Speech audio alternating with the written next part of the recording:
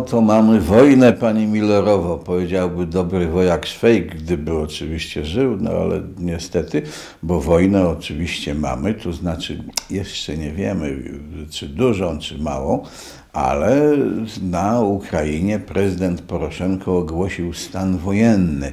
To znaczy najpierw ogłosił stan wojenny, a potem się trochę zreflektował e, pod wpływem perswazji Wierchownego Sowieta Ukrainy i ze stanu wojennego zrobił taki stanik wojenny.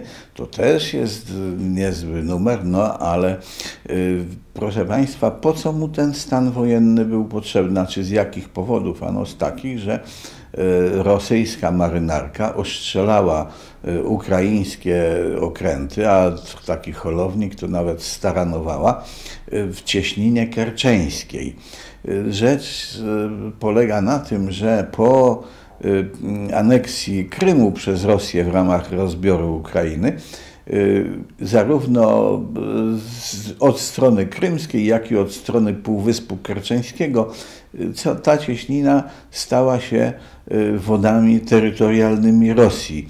No i Rosjanie tak y, y, tę cieśninę traktują, ale Ukraina oficjalnie tak jej nie traktuje. No i statki, które przechodzą z Morza Czarnego na Morze Azowskie, muszą przepłynąć przez tę cieśninę.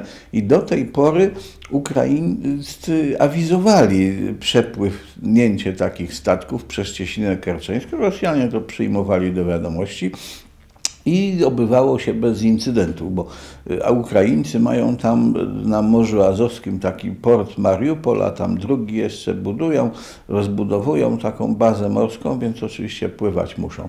Tym razem y, okręty ukraińskie nie awizowały swojego przepłynięcia.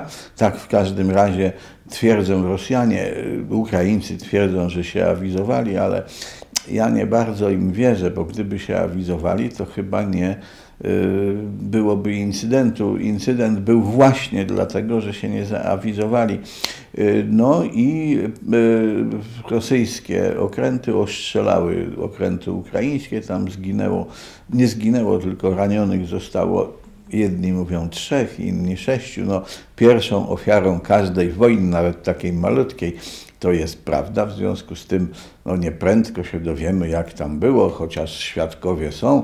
Jak to rejent Milczek mówił, nie brak świadków na tym świecie, no ale świadkowie jedni będą zeznawali tak, a inni będą zeznawali inaczej, zwłaszcza, że podobno niektórzy marynarze, którzy zostali aresztowani tam przez Rosjan, już się zaczynają przyznawać. No to jak się zaczynają przyznawać, to będzie e, na pewno wersja umocniona. Proszę Państwa, na wieść o incydencie prezydent Poroszenko natychmiast ogłosił dekret o stanie wojennym. Ciekawe, jak szybko go przygotował.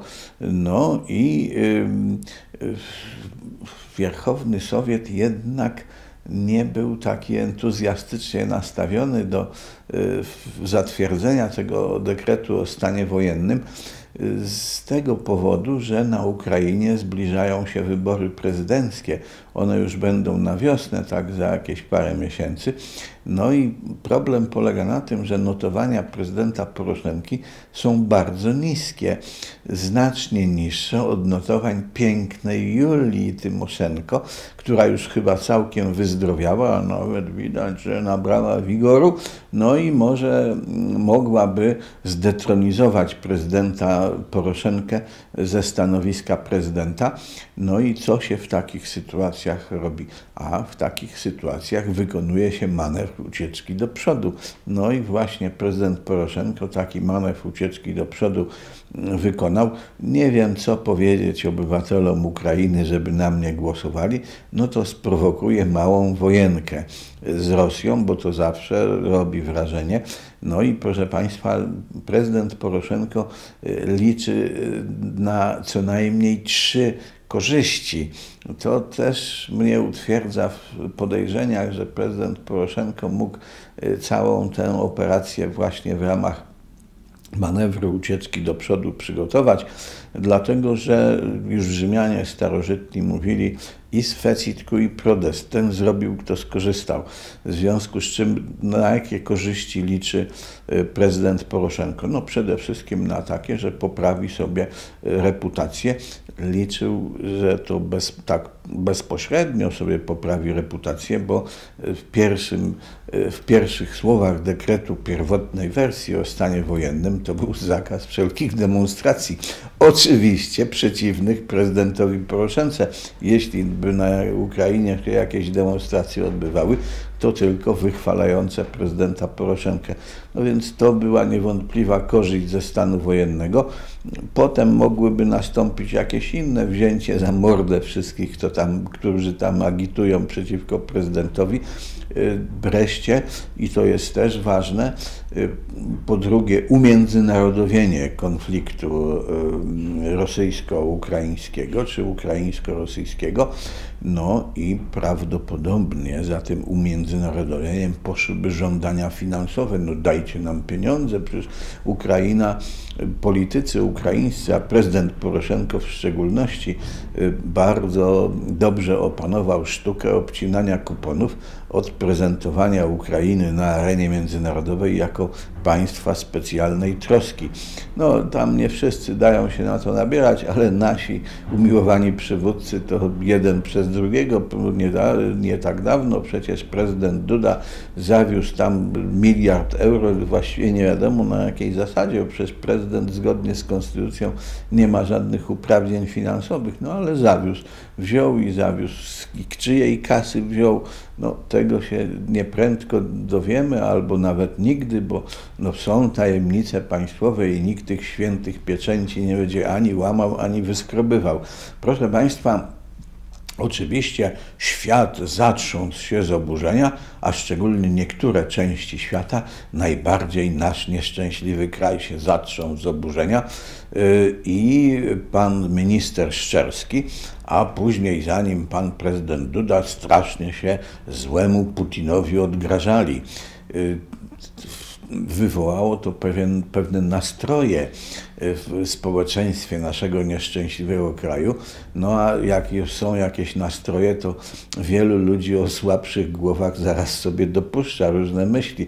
No i tak się stało właśnie Kukuniek. Wpadł na pomysł, że on się spotka z Putinem i mu wyperswaduje, żeby tam z Ukrainą to mądrze załatwił sprawę, bo to Kukuniek wszystkie sprawy mądrze załatwia. No widać wyraźnie, ostatnio koncepcje mu się lęgną z szybkością światła w tym roku. Y, tej mózgownicy, y, bo oskarżył y, Cęckiewicza za to, o to, że jest Bolkiem. No, ciekaw jestem, czego się jeszcze dowiemy. Myślę, że pana Lecha Wałęsę powinien jednak przebadać jakiś weterynarz, bo żeby tak bardzo tam na arenie międzynarodową nie startował tam z Putinem i tak dalej, bo to jeszcze, no, Kukuniak się tak ośmielił, tak tyle inicjatywy wykazał, bo prezydent Trump nie był pewien, czy się zechce z Putinem spotkać.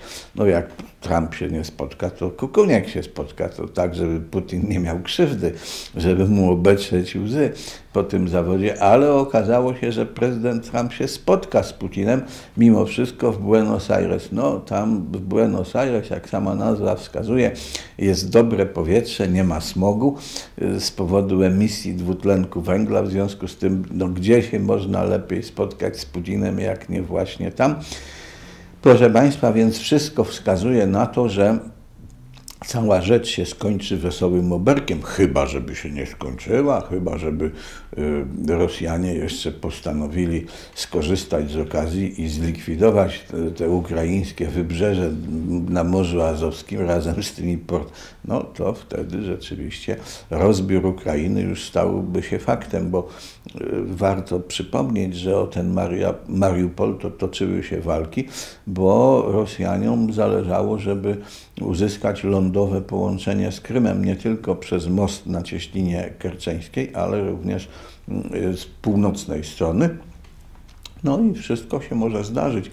Y, krótko mówiąc, prezydent Poroszenko może się znaleźć w sytuacji ucznia czarnoksiężnika, y, który wypuścił z butelki gina i nie potrafił już potem nad nim zapanować. Proszę Państwa, no jeszcze raz wrócę do naszych umiłowanych przywódców, zwłaszcza y, pana prezydenta i pana ministra Szczerskiego. No widać wyraźnie, że oni też dopuścili sobie do głowy to hasło, że będą wojować za wolność waszą i naszą. No, no, za naszą to tak nie bardzo wojują, ale za waszą to na pewno. No ale skoro im tam nasz najważniejszy sojusznik pogadał, wiecie, no Duda tutaj tego, no to prezydent Duda podskakuje, wymachuje. No nie szabelką, przecież Polska szabelki żadnej nie ma, wymachuje rękami, no zachowuje się, krótko mówiąc, jak ormowiec Europy. Ormowiec wiadomo, to tylko może pokrzykiwać, podskakiwać, przytupywać, no i właśnie tak się nasi przywódcy zachowują, a w tle jeszcze Kukuniek z tymi swoimi inicjatywami. No, proszę Państwa, wyobrażam sobie, jak się Putin rechocze, jak słyszy takie doniesienia z Polski. Tym bardziej, że, tym bardziej, że właśnie nasi umiłowani przywódcy zostali ofuknięci jak psiaki przez panią Żorżetę Mosbacherową. Pani Żorżeta się ujęła e, tutaj za męczeństwem, męczennikami z TVN-u.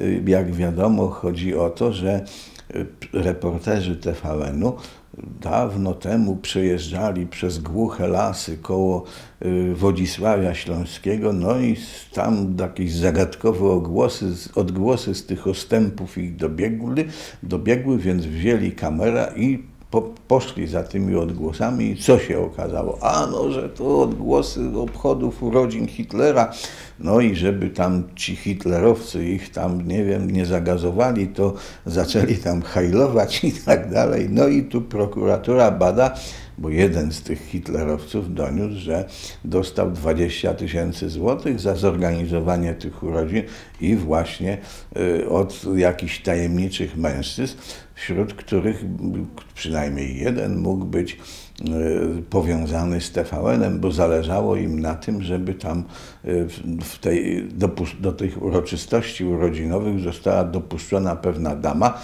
właśnie reporterka TVN-u. Proszę Państwa, warto przypomnieć jeszcze, że te urodziny Hitlera to przypadają w kwietniu, ale e, TVN emitował to nagranie, czekał z tym prawie, no, prawie rok, emitował to e, tak na przełomie roku. Dlaczego tak czekał prawie? Ano, zbiegło się to w czasie z y, tym, że w Stanach Zjednoczonych rozpoczęły się prace nad ustawą 447, y, no i część Polonii Amerykańskiej podjęła taki rozpaczliwy lobbying, żeby y, tę ustawę zablokować. I tutaj TVN wystąpił właśnie z rewelacyjnym programem o polskich nazistach, którzy tam ukrywają się w lesie. No nie da się ukryć, że takie rewelacje co prawda tych główien w Ameryce mało kto ogląda, no ale tam ktoś oglądał. No i oczywiście mm, sympatia do polskich nazistów, jak to w ogóle do nazistów y, znacznie osłabła i prawdopodobnie wpłynęła również na osłabienie skuteczności i tak rozpaczliwego y, tego lobbingu. Proszę Państwa, no dobrze, ale dlaczego pani Żorżeta? Dlaczego pani Żorżeta? No, tego oczywiście nie wiem, ale warto przypomnieć, że właścicielem TVN-u jest y, pan Dawid Zaslaw z pierwotnymi żydowskimi korzeniami. On jest właścicielem Discovery Communication, która kupiła y, TVN. No widać wyraźnie, że żydowski kapitał się instaluje w, również w środowiskach opiniotwórczych. No i jednego tylko nie wiem, czy Dawid Zaslaw jest bogatszy od pani Żorżety, czy nie. Chyba jednak jest bogatszy. No a jak jest bogatszy, to w Ameryce, Państwo wiecie, taka hierarchia jest, na, na najniższym szczeblu jest pucybut, a tam na najwyższym jakiś taki worek złota, do którego wszyscy się modlą. No i jeśli pan Dawid Zaslaw jest bogatszy od pani Mosbacher, to mógł tam wziąć słuchawkę i powiedzieć, słuchajcie, no to Mosbacherowa, z czym się teraz zajmujecie? Macie jakiegoś męża, którego chcecie wyszlamować, czy nie? No nie mam, dopraszam się łaski, panie Dawidzie, nie ma. No to weźcie tam, napiszcie list do tych, tych dyrdymałów warszawskich, żeby tu, jak który mi rękę podniesie y, na TVN, to mu ta ręka zostanie odrąbana, tak jak to mówił Józef Cyrankiewicz w 1956 roku w Poznaniu. Proszę Państwa, no i Pani, no to jak Pan każe, sługa musi. Pani Żorzeta oczywiście jazda, to w dyrdy napisała list. Nasi umiłowani przywódcy nawet nie ośmielili się pisnąć słowem. Pani rzecznik rządu powiedziała, że nie będzie odpowiedział. No niechby który odpowiedział, co by mu zaraz przypomniałem. Naczelnik państwa nawet się nie odzywa, przycupnął jak myszka. Widać, że tylko w stosunku do Putina są tacy odważni, a w stosunku do pani Żorzety to dudę w miech chowają. Proszę Państwa, no więc widać, że żydowska okupacja będzie bardzo wesoła, to znaczy będzie obfitowała w momenty. Nie wiem, czy Kukuniek jeszcze nie zabierze głosu, bo to by dopełniło obrazu sytuacji, ale jeszcze chciałbym o jednej sprawie powiedzieć, proszę Państwa. Od dawna filozofowie, a zwłaszcza teologowie, zachodzą w głowę, jak może wyglądać Królestwo Niebieskie. No niewiele o nim wiemy, bo wiemy tylko, że ani oko nie widziało, ani ucho nie słyszało, no ale tak konkretnie to bardzo niewiele wiemy. Jedno wiemy, dotychczas wiedzieliśmy na pewno, że na tamtym świecie, bo Królestwo Boże jest z tamtego świata, nigdy nie było, nie ma i nie będzie żadnych reform. Na szczęście od niedawna wiemy na temat Królestwa Bożego trochę więcej, a to za sprawą nabożeństwa dziękczynnego, jakie zostało odprawione w kościele Panien Wizytek na krakowskim przedmieściu y, w podziękowaniu, w podzięce za prezydenturę Hanny Grankiewicz-Walc. I jego eminencja Kazimierz kardynał Nycz, który tam wygłaszał przy tej okazji kazanie, powiedział między innymi, że pani Hanna tu budowała już na ziemi Królestwo Boże. Więc trochę więcej, dzięki tej deklaracji trochę więcej wiemy, bo nie wypada, jak kardynał mówi, to nie wypada zaprzeczać. Więc w takim razie Królestwo Boże musi trochę przypominać Warszawę pod rządami Hanny Gronkiewicz-Walc. No to z tego wypływają rozmaite wnioski, między innymi takie, że pan Trzaskowski będzie musiał kontynuować budowę Królestwa Bożego, co z pewnością zwiększy w Warszawie ruch turystyczny, dlatego że no, ludzie z całego świata będą przyjeżdżać, żeby zobaczyć, jak wygląda Królestwo Boże, a również przeciwnicy Królestwa Bożego będą przyjeżdżać, żeby tu wypatrzeć słabe punkty, żeby tym, tym łatwiej Królestwo Boże obalić. No i w związku z tym ratusz musi się przygotować, zresztą nie tylko ratusz, ale hotelarze, restauratorzy, no i pracownicy przemysłu rozrywkowego, dlatego że no, owszem, w dzień to będziemy budowali Królestwo Boże, ale wieczorem trzeba się to jakoś rozerwać, więc no wszystkie, że tak powiem, dziedziny życia będą poruszone. W związku z tym jestem prawie pewien, że pan prezydent Trzaskowski będzie musiał powołać specjalnego pełnomocnika w ratuszu do spraw budowy Królestwa Bożego. No i tam z licznym personelem biurowym, o trochę to musi kosztować, no ale trudno, nie ma rzeczy doskonałych. Jakby Królestwo Boże nic nie kosztowało, to by znaczyło, że jest niewiele warte.